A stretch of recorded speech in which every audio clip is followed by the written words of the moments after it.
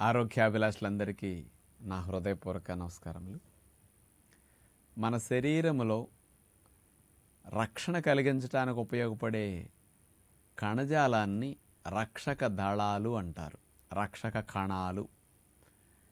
అవే వాటిని మొత్తాన్ని కలిపి తెల్ల రక్త కణాలు అంటారు.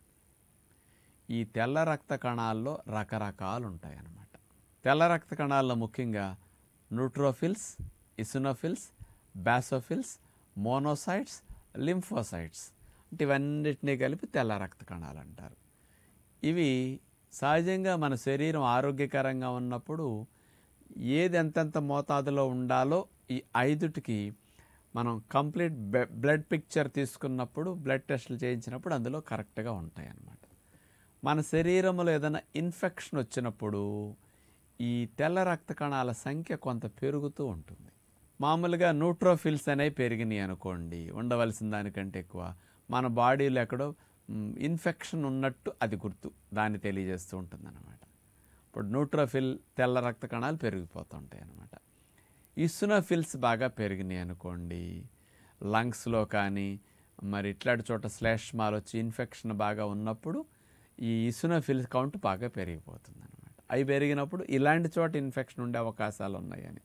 అంటే మన బాడీలో వైరస్లు కానీ బ్యాక్టీరియాలు కానీ ఫంగస్లు కానీ ఇట్లాంటి క్రిములు ప్రవేశించినప్పుడు ఆ క్రిముల యొక్క స్థితిని బట్టి సాంద్రతను బట్టి అవి ప్రవేశించి కలిగించే డ్యామేజ్ని బట్టి మన శరీరం నిర్ణయించి తెల్ల రక్త కణాలని ఉత్పత్తి చేసి రంగంలోకి దింపుతుందన్నమాట.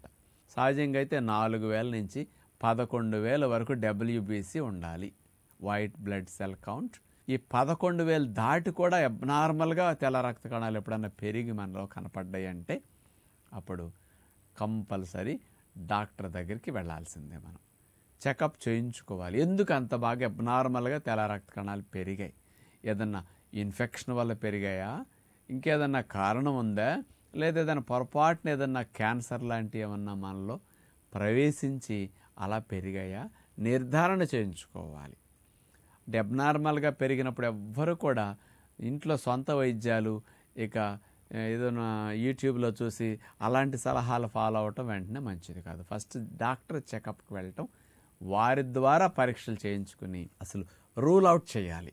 దేనికి ఇట్లా పెరిగాయని తెలుసుకుని అప్పుడు పరిష్కార మార్గం ఆలోచించాలి. అంతేకాని మనం ఏదో ఇష్టం వచ్చినట్టు ఏదో యాంటీబయాటిక్స్ కొనేసి వేసేసుకోవటం కానీ ఏదో విధానంగా ఫాలో అయ్యి వాటిని తగ్గించుకోవడం తగ్గొచ్చు కానీ అసలు కారణం ఏంటో తెలియకుండా మనం ట్రీట్మెంట్కి వెళ్ళటం మంచిది కాదనమాట. అందుకని అలా చూడటం మంచిది.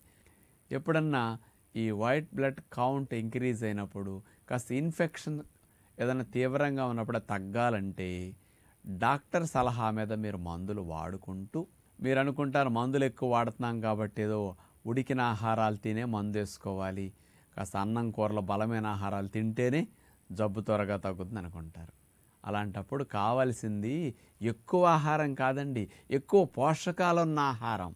ఇది ముఖ్యంగా గుర్తుపెట్టుకోండి. ఎక్కువ ఆహారం తినాలని మూడు పూట్ల ఇంత అన్నాలు ఆ మూడు పూట్ల లేకపోతే రెండు పూట్ల మాంసాలు ఇలాంటివి కాదు. ఎక్కువ ఆహారం తిని మీకు లాభం ఉండదు. ఇన్ఫెక్షన్ ఎక్కువ రోజులు పడుతుంది. ఎక్కువ పోషకాలు ఉన్న ఆహారం.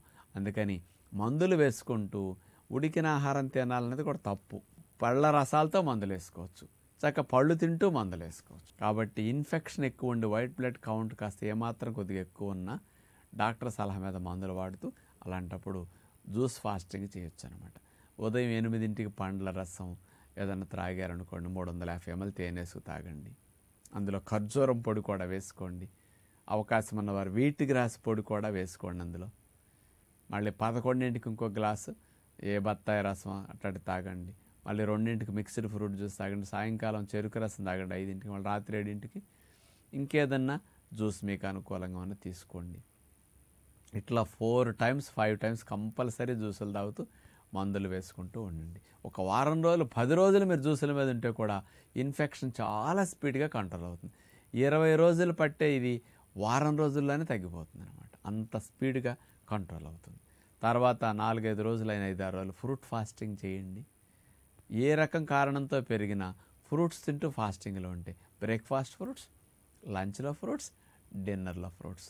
ఇట్లా మూడు పూట్ల ఫ్రూట్స్ అనేవి మనం తింటూ డాక్టర్ ఇచ్చిన మెడిసిన్ వాడుకుంటూ ఉంటే అలాంటప్పుడు ఇన్ఫెక్షన్ తగ్గుతుంది. లేదండి ఏదో వైరల్ ఫీవర్ వల్ల లేదా బ్యాక్టీరియల్ ఇన్ఫెక్షన్ వల్ల అంత అబ్నార్మల్గా పెరగకుండా కొంచెం ఎక్కువ ఉన్నాయి అనుకోండి. మీరు హనీ వాటర్ ఫాస్టింగ్ నాలుగైదు రోజులు చేసి నాలుగు రోజులు జ్యూసులు తాగేసరికి మందు లేకుండా కూడా తగ్గిపోతాయి. కాకపోతే అబ్నార్మల్గా పెరిగినప్పుడు డాక్టర్ మెడిసిన్స్ ఇస్తే అలాంటప్పుడు జ్యూస్ ఫాస్టింగ్ ఫ్రూట్ ఫాస్టింగ్తో మందులు వేసుకోవాలి.